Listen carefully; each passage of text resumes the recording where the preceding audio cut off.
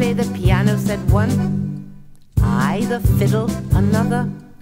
I the banjo, I the harp, I the clarinet. I the bagpipes, I the flute, and I the flageolet. And they all began to talk, talk, talk, talk of what they played. Nobody heard any music, for their talk, talk, talk, talk, talk, talk, and nobody played. But in the corner a man sat silent. What do you play, good sir? they said, who sit so silently with nothing at all to say. I play the hurdy-gurdy, the knife I also play, said the man who sat so silently with nothing at all to say.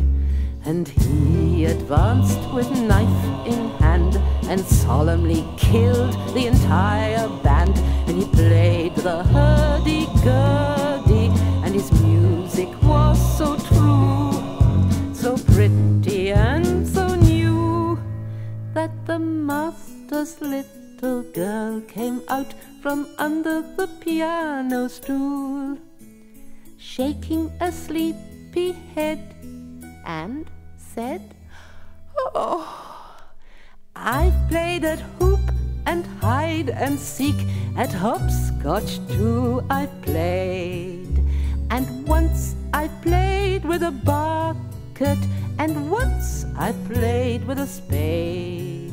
But that's all over and done, done, done.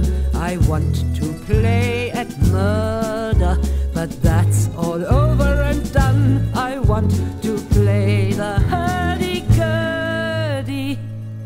He took the little girl by the hand, and both went on ahead through street and house and garden and struck the people dead. Whereafter they were wed, and they bore a great many children.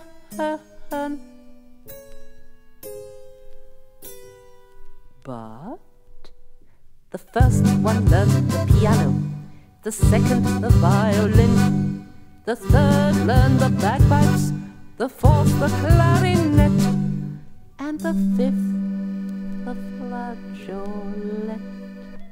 And they all began to talk, talk, talk, talk. And then